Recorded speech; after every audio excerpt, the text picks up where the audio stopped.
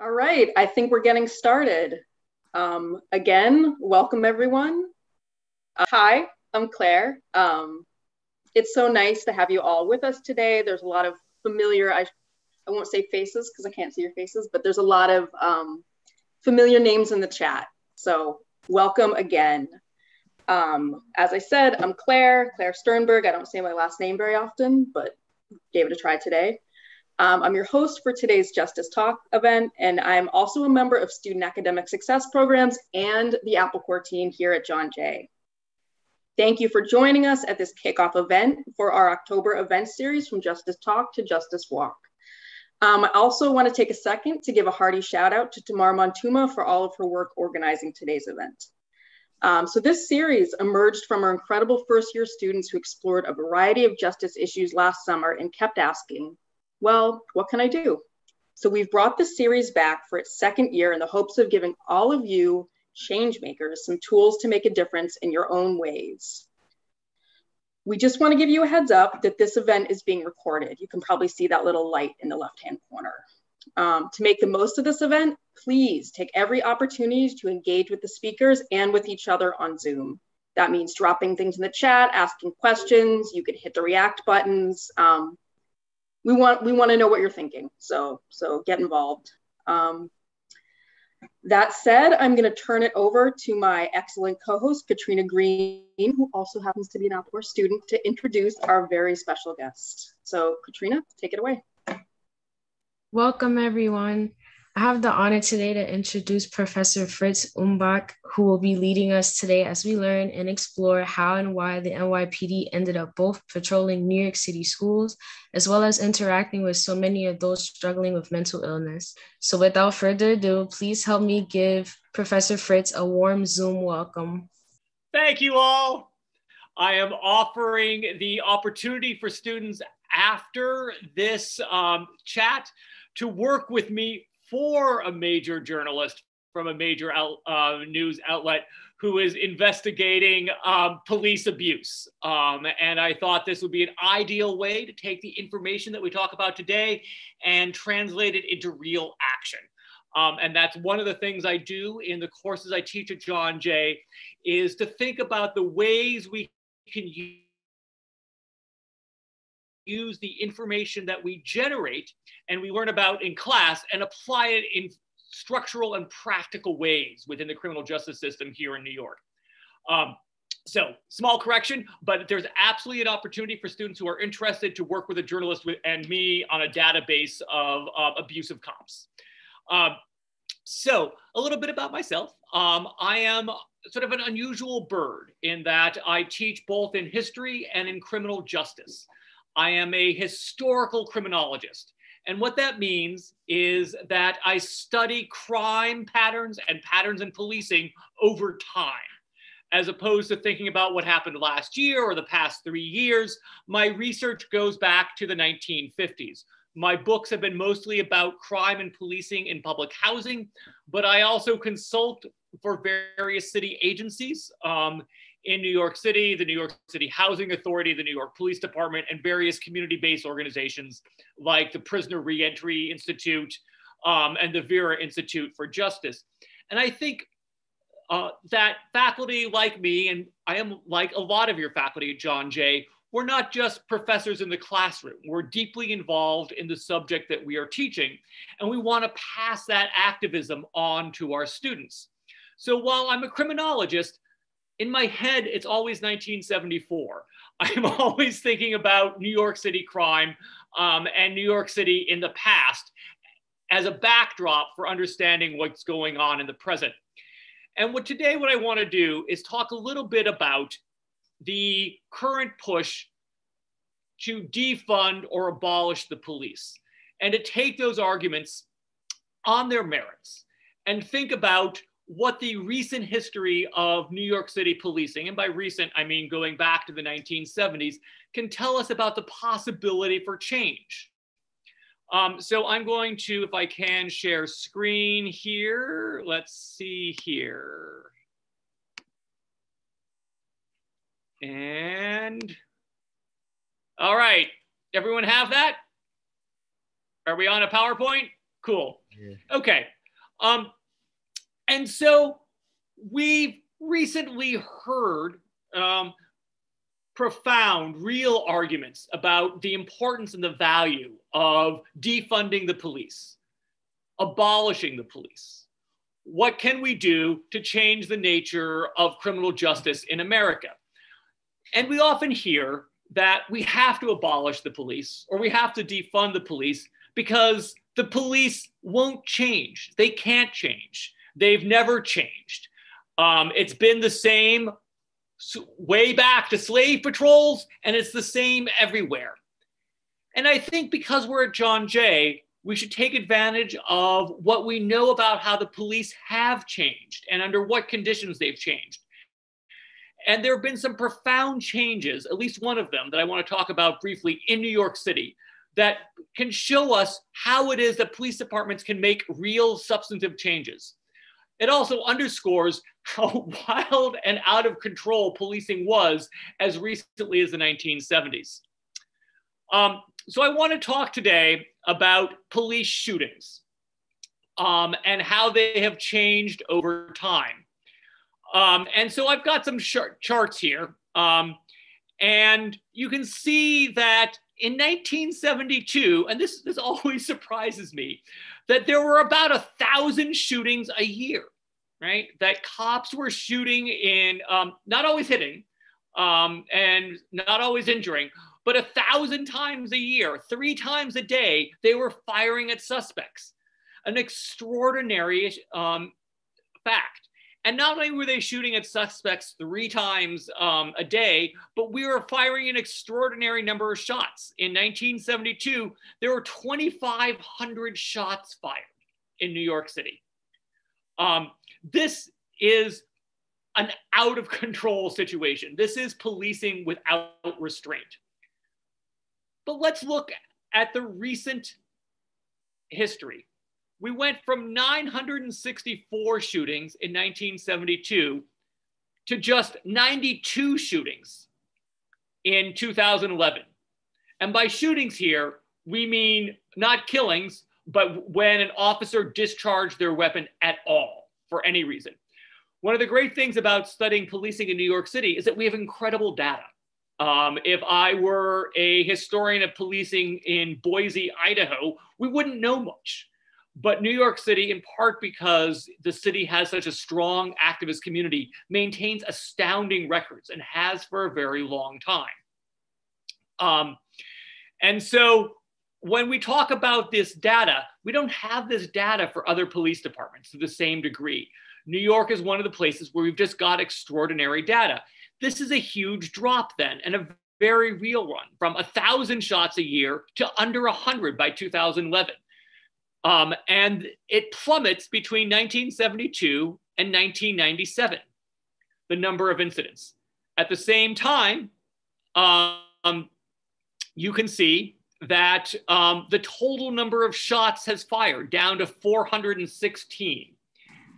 416 shots fired a year. And that's not just at suspects, that's also at canine shootings. And we keep track in New York City of the number of times officers discharge a weapon against dogs. Um, and it's a surprising number of times, actually.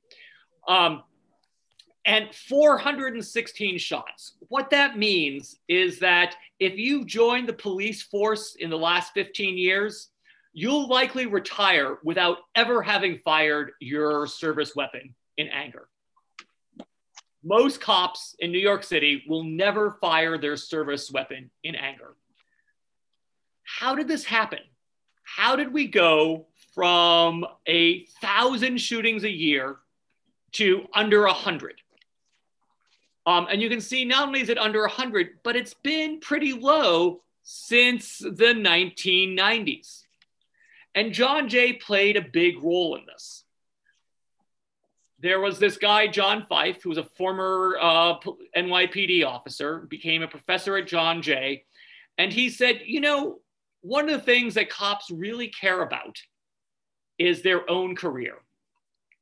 Um, and if we make stringent rules about when and under what conditions you can fire your service weapon, cops who care about their career whether or not they um, care about the political issues behind that issue.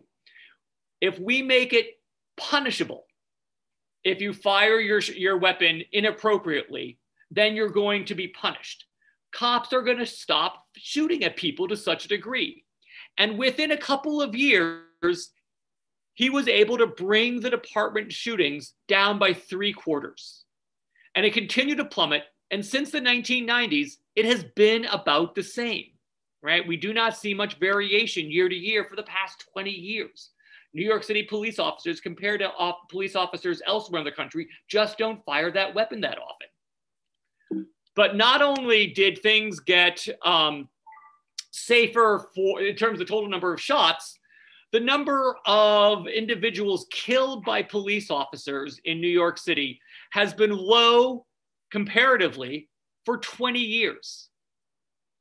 You can see that in 2011, we, uh, NYPD, uh, officer involved shootings only involved nine fatalities. And it's been that way since the late 1990s. The number goes up or down periodically, but these are very small numbers.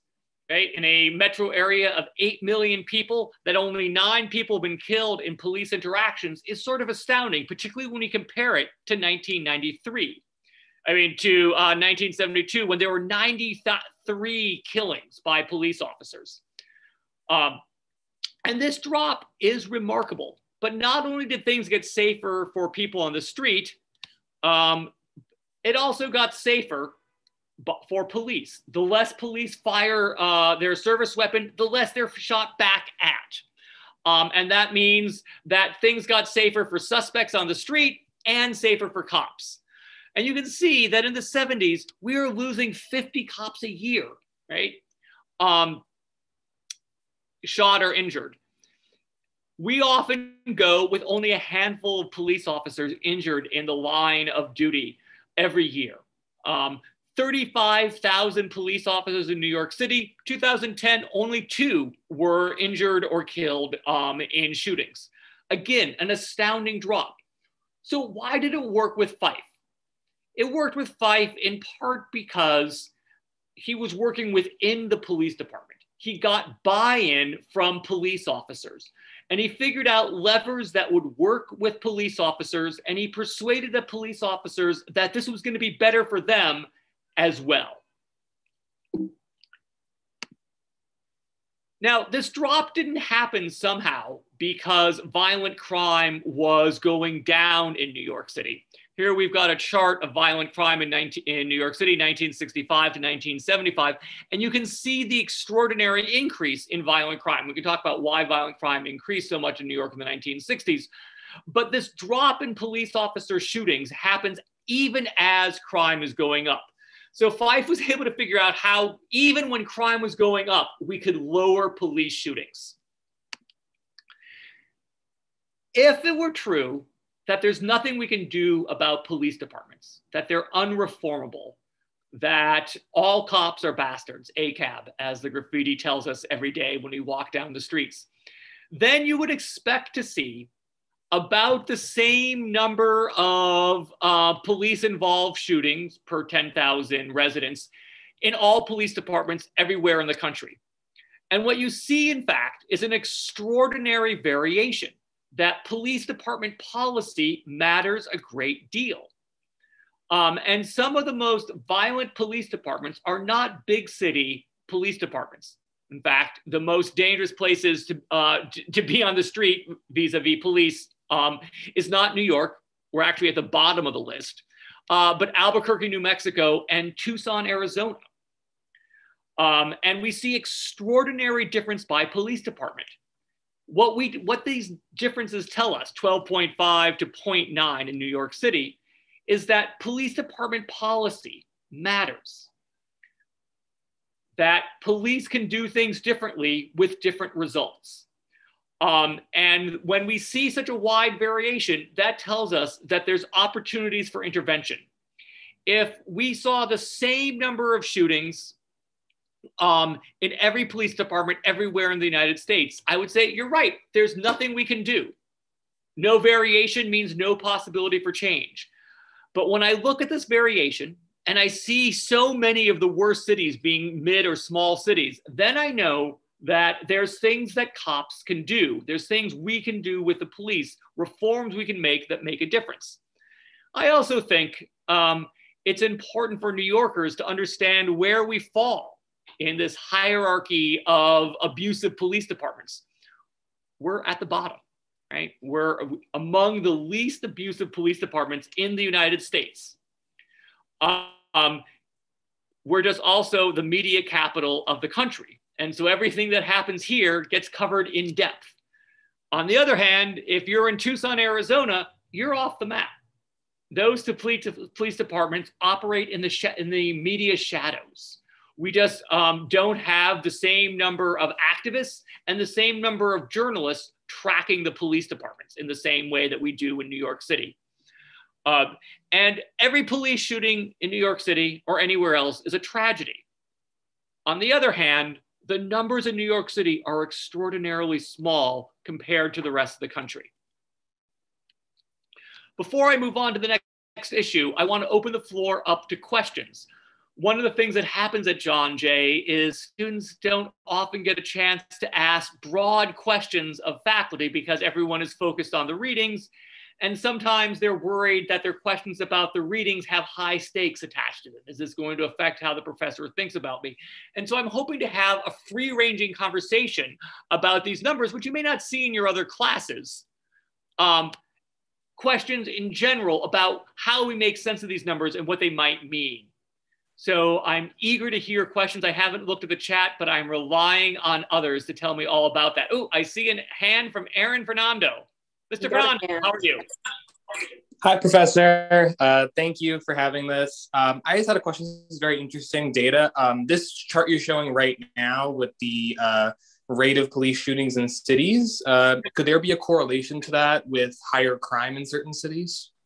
That would be another way to crunch the data. And one of the interesting things that's happened nationally with crime is that big cities, for whatever people in the suburbs think, are, with some exceptions, significantly safer than mid and small cities. That much of the action in crime these days is happening in mid to small cities.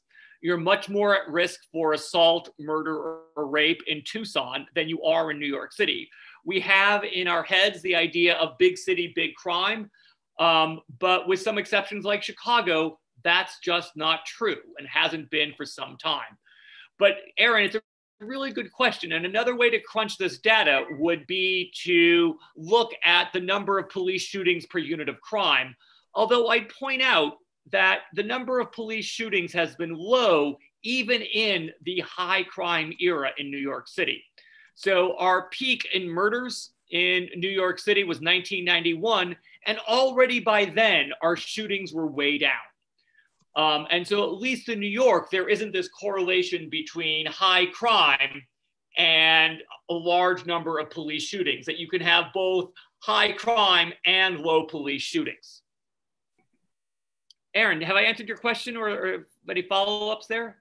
I think that makes sense. So you're saying there could be a correlation, but in New York City, it seems to be uncorrelated in New York City, at least, it is uncorrelated, but it is a worthy topic of exploration, right? Police shootings not as a, as a rate per 10,000 residents, but as a rate per crime unit of crime would be a, another interesting way to crunch the numbers. Got it. Thank you. I am keeping my eyes on the chat, and I will let you know when there are questions. Okay. Um, so the next issue uh, that I want to talk about is the NYPD and what's known as EDP. We no longer use in academic publications EDP, which was short for emotionally distressed person, um, because it seems pejorative, uh, but cops on the street still use it. And one of the interesting things about um, EDP calls to the NYPD is that they represent the vast bulk of police shootings, um, whether they end in a fatality or injury or not. Um, they are disproportionately um, interactions with EDP.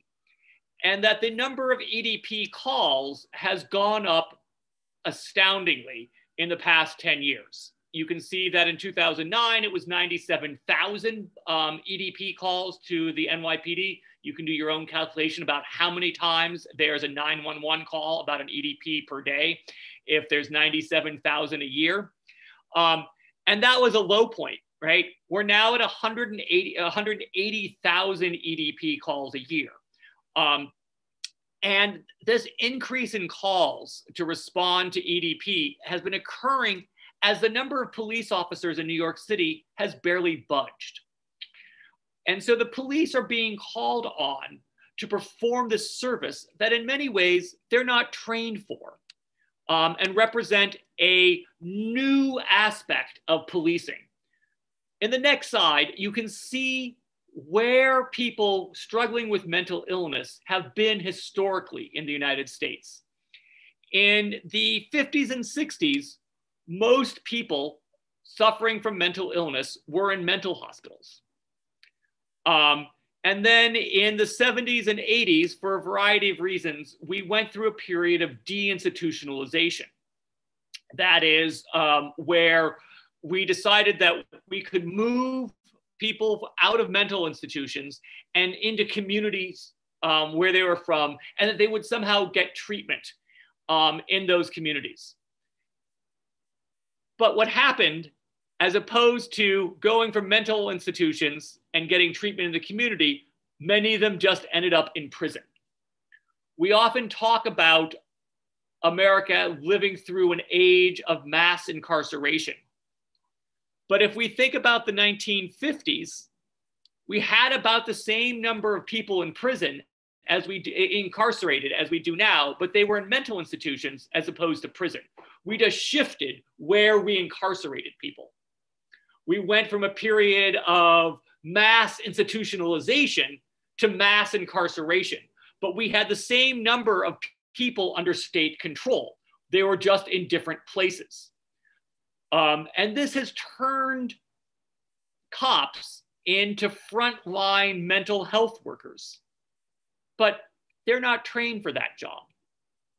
And I think where people who are calling for defunding or abolishing the police and police officers themselves have some common ground is cops don't really want to be in this business. They would love to be defunded on the issue of dealing with EDP um, because they're not trained for it. They're perhaps not the best people to respond. Um, and the problem that we have is that not so much that we need to defund the police, but that we've defunded mental health in the United States. We have a policing problem with EDP that is dealt with by calls for defunding the police because we've defunded everything else in society. Importantly, for understanding police community relations in New York City, is the extent to which um, those calls for EDP come from minority neighborhoods, neighborhoods with high Black and Latinx populations. You'll see that they're significantly more likely to come from communities of color than they are from white neighborhoods. Not because white people suffer from mental illness less, but because for a variety of issues, including racism, white New Yorkers are more likely to have the resources and their families to have the resources to handle the challenges of mental illness. Whereas in communities of color, under resourced um, and with poorer households, they don't have the resources to deal with that.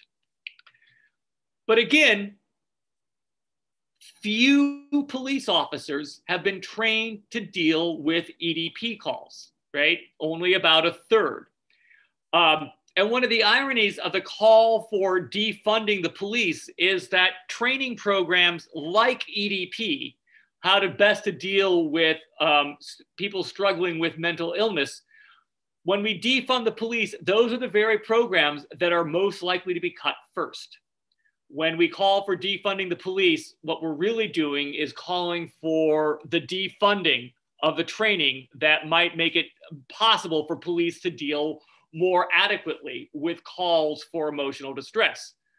But again, where calls to defund the police and police officers themselves would agree is this very issue. Cops would love to get out of this business. And before the late 1970s and early 1980s, they weren't in this job. That when uh, we had a different approach to mental health, this wasn't something police officers had to do in their daily um, beats. All right, I'm going to pause there while we think about those numbers and take some more questions on those on those topics. Anyone want to unmute and ask a question? The chat is open.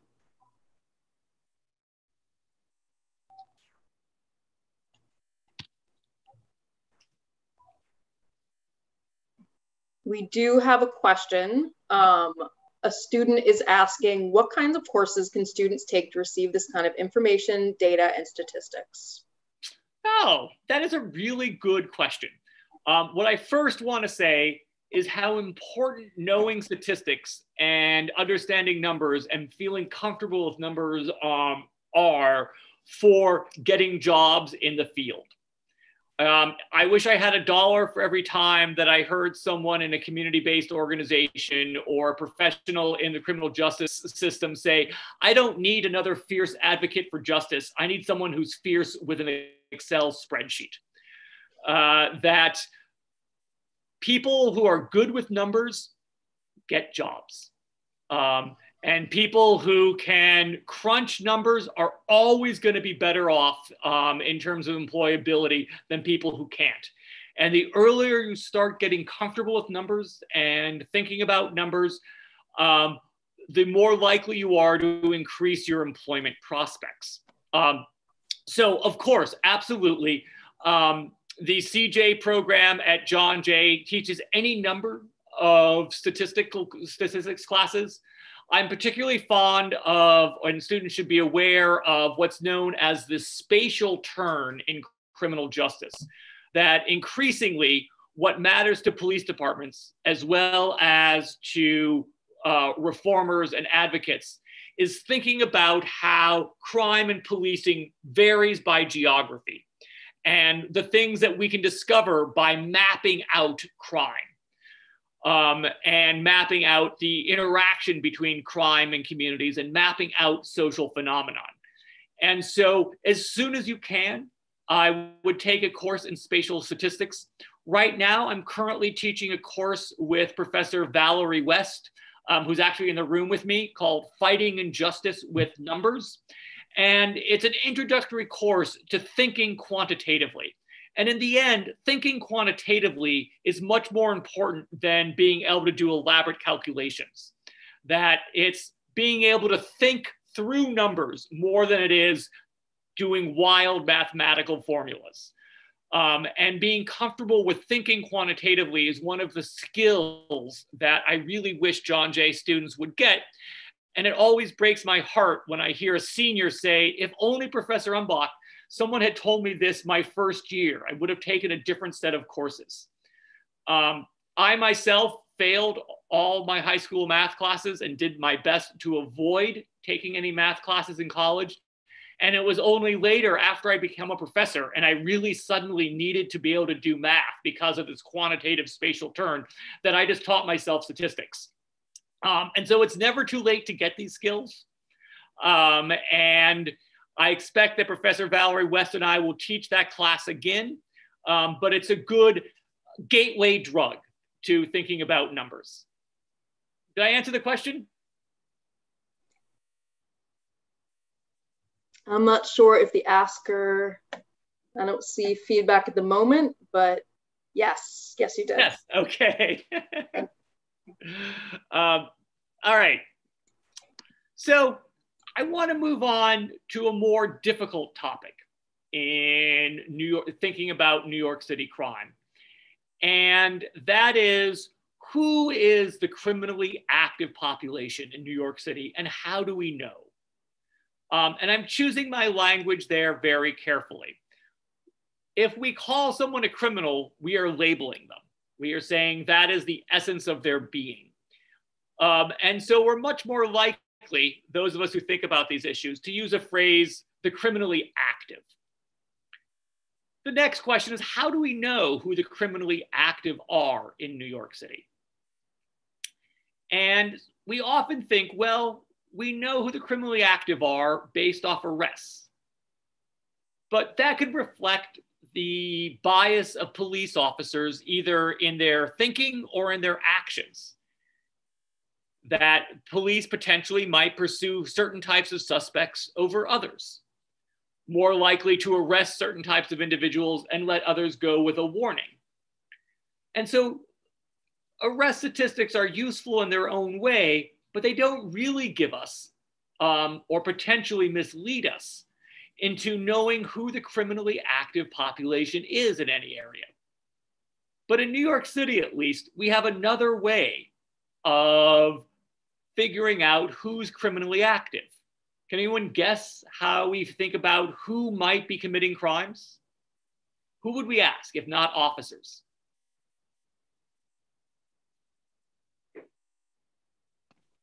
The people?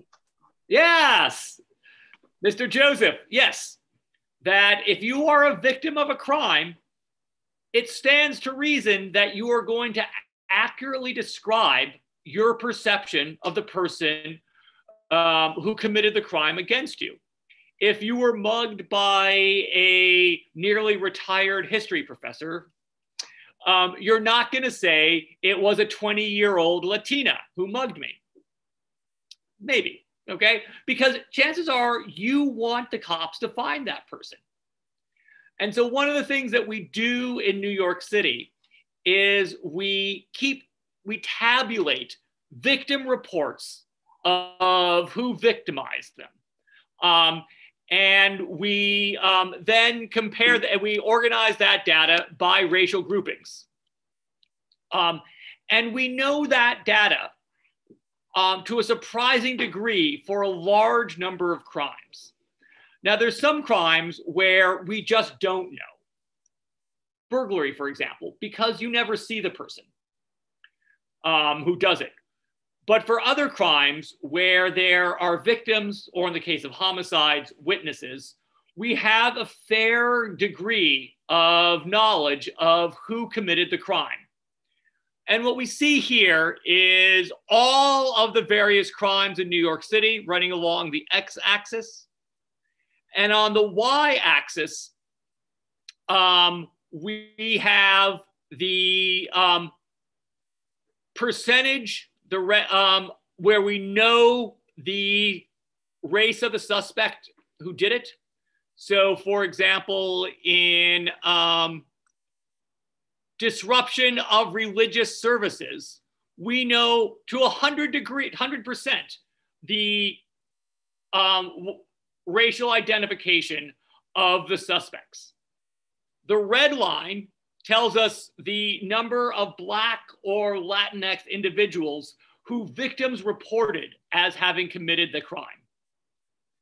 Um, and you can see the spread then of the criminally active population in New York City um, by racial identification. Now, of course, there's all sorts of problem with racial data, in part because race is an invention, right? There aren't really racial differences between people biologically. Um, race is also a matter of perception, and racial categories change all the time.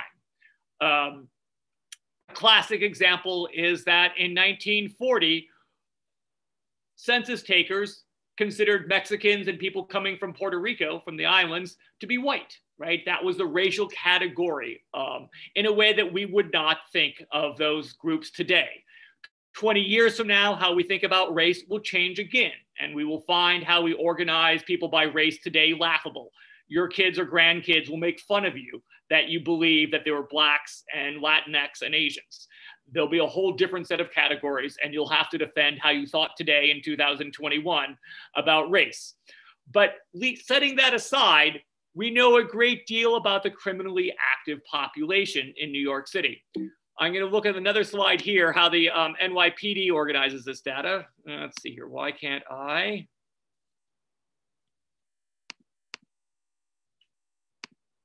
Come on. Yeah, Okay. Um, and I'm pulling this from publicly available data.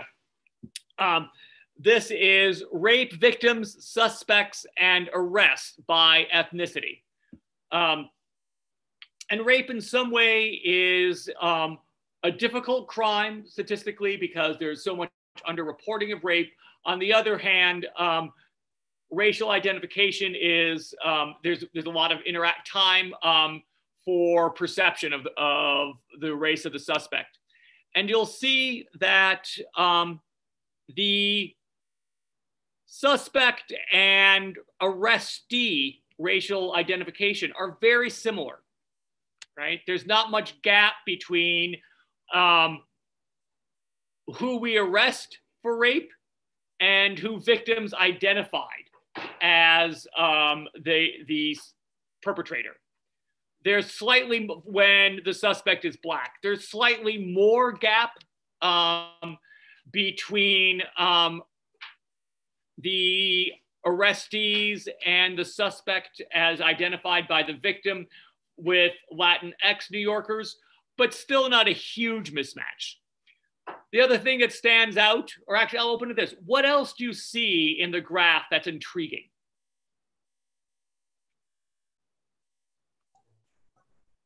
It may be a little bit tough. Um, I know I'm having a hard time reading the categories, so I'm wondering. Yeah, so okay. Um, this might just be one of the problems with Zoom. Um, but I will point a few things out because it's true for rape as it is for most crimes almost all crime in New York City is intraracial. That is, it happens within the same population groups. Victims and suspects um, share identities, racial identities, um, and that there's very little crime in New York City that occurs cross racially. Um, and this is important for understanding how we think about crime in New York City is that people of color are overwhelmingly, disproportionately the victims of crime. We have a comment yeah. in the chat. Um, um, a student that says when you ask the question about what they're noticing, they say that they notice how people of color are higher in all of the categories compared to white people. That is true. That is undeniably true. That's um, that um, there are very few white arrestees for rape, for rape. There are very few white victims of rape in New York City. Um, and there's almost uh, no um, white perpetrators. Um, and that is because rape, like other forms of violent crime, clusters in poor communities. And in New York City, class and race overlap. If we were in Boise, Idaho, they wouldn't overlap. Race and class would be um, wouldn't be overlapping. Uh, but here in New York City, they do. And because crime and poverty track each other so closely, in New York City, overwhelmingly the victims of crime are going to be individuals of color. And to care about crime is to care about people of color. And to care about people of color and their lives in New York is to care about crime. We have a new question that just popped in the chat. Mm-hmm. This question is Why are there fewer arrests for white people? Well, there are fewer arrests for white people because there are fewer white suspects, right? Um, the, uh, I don't think that, let's see here. Um,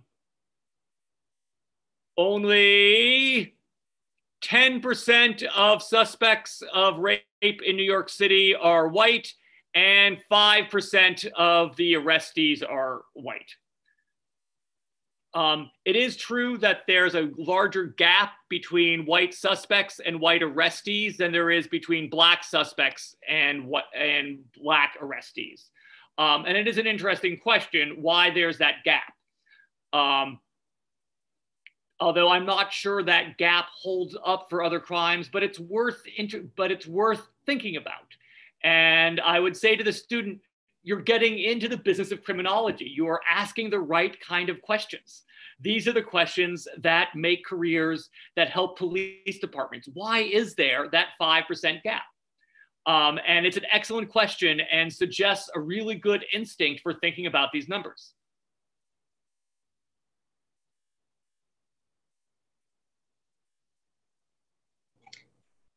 No more questions in the chat at the moment.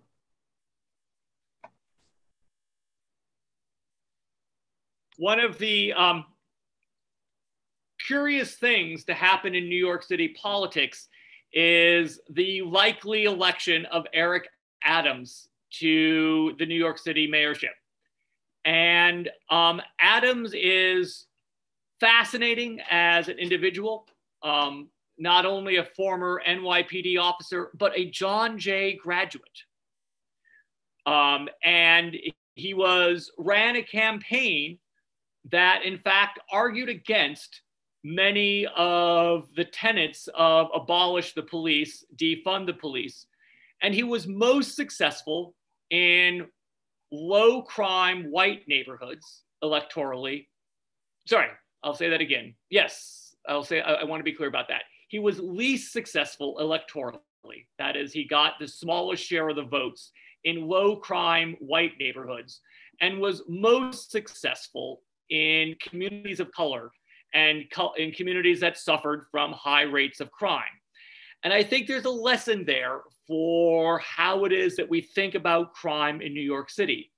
Adams' electoral success speaks not only to the fabulous training one gets at John Jay, but to the new politics of crime, um, where it's not a white versus black issue.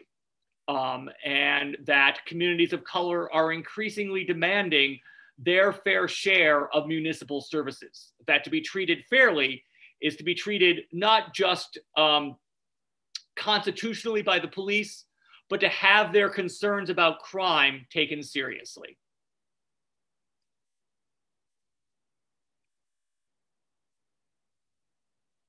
Other questions? All right. Um, so to sum up, I think that what the history of New York City tells us is that we can change police departments. And we should change police departments because they're, they are changeable, that they are not monolithic blocks of granite. Um, change isn't going to be easy and we always have to reform. What last year's reform frequently becomes this year's problem.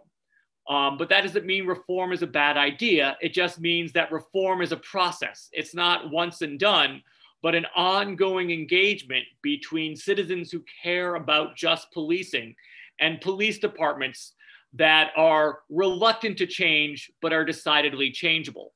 At the same time, I think this graph tells us that to care about communities of color is to care about issues of public safety. Um, that the, it is such communities that suffer both from overly aggressive policing and too much crime.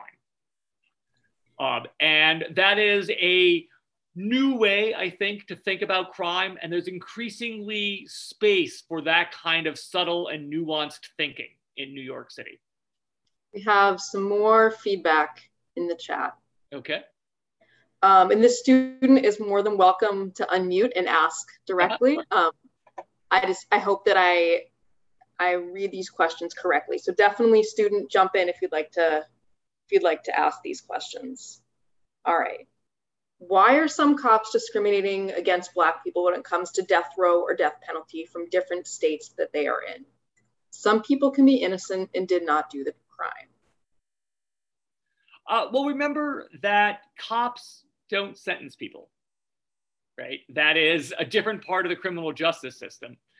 Um, and that those decisions are not the decisions of cops, um, but of juries and judges. Okay. And again, definitely jump in, student, if you'd like to ask more about that. Um, I see. Okay. I have oh, a question. Mm -hmm. So what if the, the roles were switched, like the judges and juries were discriminating against black people? there's a lot of research about um, capital punishment cases. Um, and in fact, one thing I could do is turn it over to an expert here on capital uh, justice cases. We happen to have one here in the room. Um, I'm joined by Professor Valerie West, who I think did one of her first academic articles on racial disparities in capital justice crimes. Hi, everyone. How are you? What was the question again? Um, I said if the roles were switched, um, judges and juries discriminating against Black people when it comes to death row and death penalties. And yeah. so the, the reason you're right, there's a lot of innocent people on death row, and a lot of innocent people have been found to be factually innocent, not just legally innocent. The distinction is whether or not the rules were followed. Um, that doesn't preclude factual innocence. And factual innocence is we got the wrong guy and we know who the right guy is. Um, Professor Umbach earlier on said that the majority of, of criminal events, including homicide, are committed by people of the same race or the same group. You're, you're most at risk with people like you than you are with a dangerous stranger. Um, it's also true that death row is disproportionately African American. It's about 52 to 49 percent um, white over black um, or black over white. Uh, so you're asking a whole series of questions that confound the process from the investigation of who's been killed. The, the, in the world of capital sentencing, the issue about race is also focused, it on, focused on the race of the victim as a crucial predictor of what happens at the end of the case. So the majority of people who are on um, death row are there for an interracial, not intraracial event. Uh, I don't know if this totally answers your, your question, but it's a lot more complicated. My own re- research suggests that juries are more likely to convict anyone, white or black, of, of a capital event if they live near large black populations. So they're responding to a, a, a racialized fear in general that they express both for white defendants and black defendants. And that's independent of the racial makeup of the jury. Independent of the racial makeup of the jury. That's irrelevant of the racial makeup of the jury. Um, so it's a, both a more complex situation than we have understood it, uh, and also it, addresses race in a very different kind of way. It's not individuals being biased, although that certainly happens, and there's a lot of evidence for that. And those stories make the paper because they're so egregious. But as an overall phenomenon, um, it is a very complex expression of social uh, disquietude, for lack of a better word. Does that answer your question? Yes, and also just to say something, um, I'm back. Um, you said the cops can't um decide, but when you know the Central Park Five, when the police just um just took in the black person that they knew that they raped the woman, but they, he they the group didn't really didn't. So you so should, it, let me suggest a, a, a really good documentary for you called What Jennifer Saw. Um, it's an old PBS documentary on DNA evidence and policing, and a young white woman was raped in her home while sleeping. An African American man was convicted of the crime. And while he was incarcerated, he identified the person who actually did it, who was also Af- African American, but not him, using the language at the time of the event. The police in this video said, and this is the important part I always knew mistakes happen, but I always thought that if I did my job right, that I would not make mistakes. Um, and yet this still happened. Uh, so the police, even in the best, are going to make mistakes. Even when they do everything right, they're going to make mistakes. So, do we have a way to detect those mistakes and try to get police to do everything right? Uh, so it's a it's a very deep and troubling complex issue. I wish it were as simple as the ra- that police are biased or racist and we can get rid of the biased or racist police. But that's not what happens. So both things can be true. There can be biased and racist police officers, and there certainly are. Um, and I think the uh, recent FBI raid to the home of the um, head of the Sergeants Benevolent Association is going to reveal a trove of police racism. It's that police racism doesn't account for, explain, or fully explain all the outcomes in yeah. such cases. Uh, Professor Umbach said it better than I. Yes, that's exactly right. And it is, it's deeply troubling, right? Because it's an expression of larger social issues that have nothing to do with the police, that the police are just part of, not the um, initiator of. We have some more questions in the chat. Thank you, Professor West. Thank you, Professor West. Uh, Professor West teaches a spatial statistics class if you're interested in crime mapping here at John Jay. Um, and if you're imagining a career or envisioning a career for yourself in criminal justice, crime mapping is uh, the big new thing. Okay, should we do some more questions or do you want to keep going and save questions for No, no, let's let's do questions. Great, we got a few. Okay, so we have a student that says, you mentioned a reform will have to take place and obviously reform takes a while. It can't be done just at once. How long will you say a successful reform will take? Well, it's what do we, some reforms are harder than others, right? Um, the interesting thing as I, and I'll go back to the slide here, is how quickly Fyfe was able to reform shootings in the New York City Police Department. That it just took a year or two. Um, and suddenly, police shootings in two years were a quarter of where they were before. That's a pretty quick reform. Um, other problems, which are more entrenched, take longer. Um, and so there's low hanging fruit, and then there's deeply entrenched problems, and different reforms take different amounts of time.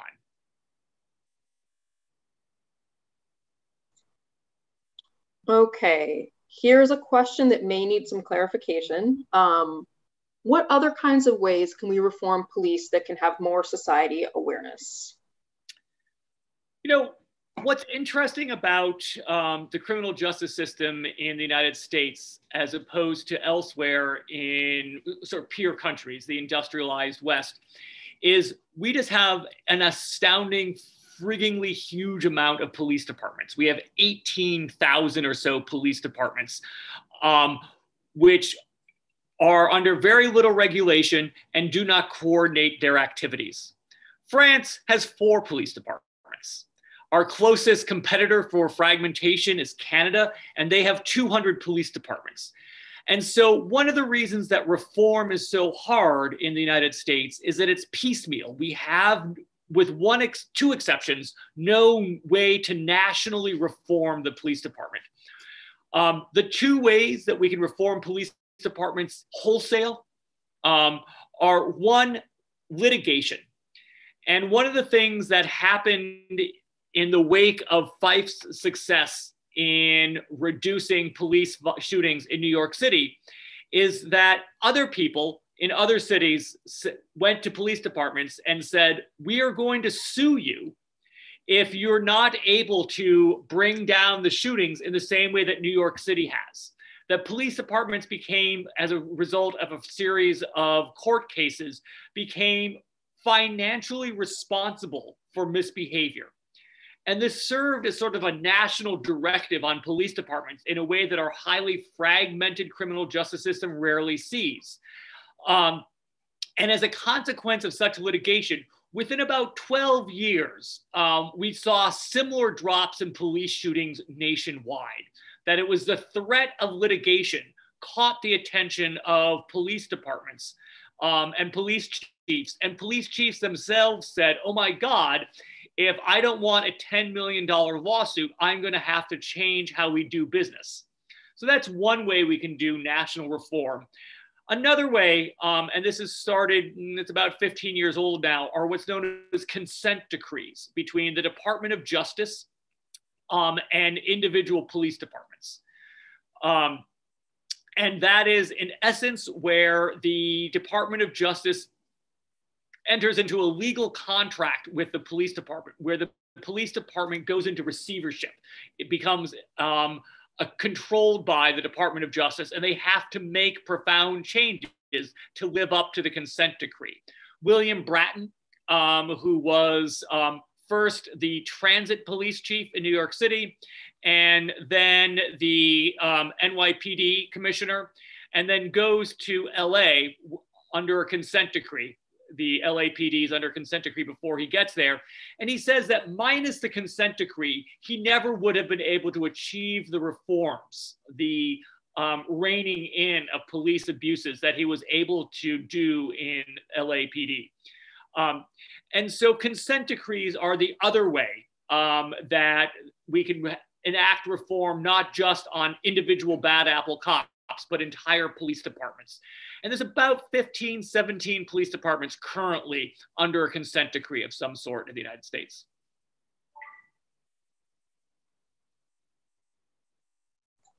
Okay, I thought I just heard someone starting to unmute there, maybe not. Um, we do have another question in here. Do you think that capital punishment is a deterrent to crime? And do you think the reason that crime in New York has decreased is somehow correlated to the abolishment of capital punishment in New York State? Well, I'm going to give my answer, but I'm going to give my answer while Professor West is nearby listening, um, and she can correct me. My understanding of the research is that capital punishment does not, in fact, um, deter crime. And we know this from cases where people will commit a crime in a neighboring state with capital punishment, and they'll still do the still still commit the crime. That there's not much correlation between capital punishment and the degree of crime. But I'm going to defer to the expert. That's correct. Uh, there's some there's some evidence um, that if you have a whole bunch of like if you kill a lot of people, if the state executes a lot of people, you might have a small deterrent effect but it's uh, that's only from Texas, uh, which is an outlier in all things. Generally, all of the research agrees that capital sentencing is not a deterrent to crime. Um, New York hasn't exactly abolished capital sentencing. Uh, it was there was for about six months in 1995 we had capital sentencing on the books, and it was reviewed and found to be faulty, and it just has le- been left like that. There's no formal abolition and there's no formal adoption. So it's in abeyance. Okay, thank you both. Um, I don't see more questions coming at the moment. We have about five more minutes left. Um, I'm not sure if there's more that you wanted to cover. No, I think I, I, have covered everything I want to cover. What I'm most interested is hearing from students. But if there's no more questions, because now is a great time to ask those questions, particularly about career paths.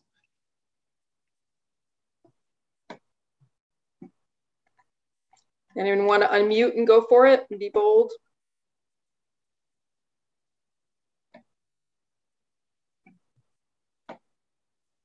Okay, no bold.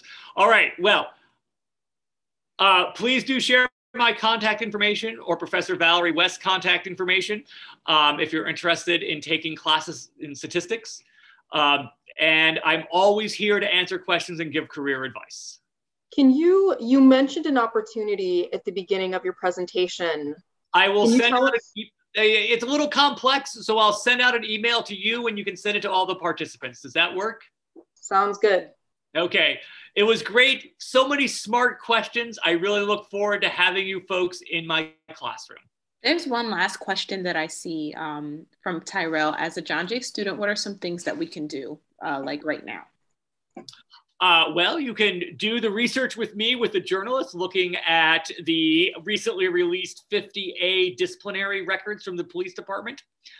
Um, the other thing I would recommend is to think about reform in a smart fashion. Um, you're in college, and so now it's an opportunity to move beyond sort of Instagram politics and Instagram information and think about these things in subtle and nuanced ways. Because if we define the problem in the wrong way, we're going to get reforms that don't work. Um, and so, one of the great things about being at John Jay is the opportunity to think about these issues in a real deep fashion so that we come up with the best possible reforms as opposed to reforms that are likely to dis disappoint us all. All right. I'll see you guys in the classroom.